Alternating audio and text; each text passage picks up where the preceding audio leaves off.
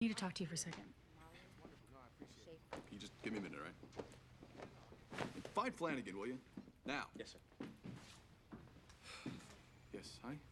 Want the locks changed again in the morning? You want? Look, why don't you just go lie down, huh? Have you checked on James? Well, of course I've checked on James. I've checked on him every five minutes since we've been home. Do not patronize me. I'm. I want the locks changed again in the morning. Shh, it's okay. Just go to bed, all right? Do you know what? Didn't I just ask you not to treat me like a child? I'm sorry, Miss Jean.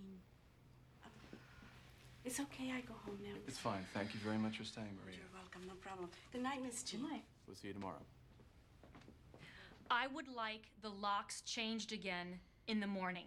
And you know what? You might mention that we'd appreciate it if next time they didn't send a gang member. gang member? Yes, yes. Well, you mean that kid in there? Yes, the guy in there with the shaved head, the pants around his Oh, ass, the prison tattoo. Those are not prison oh, tattoos. Oh, really? And he's not gonna go sell our key to one of his gangbanger friends the moment he is out our door. We've door. had a really tough night. I think it'd be best if you just went upstairs right and now. what? Wait for them to break in? I just had a gun pointed in my face. You lower your voice. And it was my fault because I knew it was gonna happen.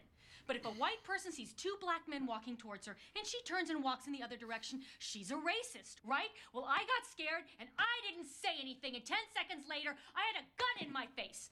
Now, I am telling you, your amigo in there is gonna sell our key to one of his homies, and this time it'd be really fucking great if you acted like you actually gave a shit.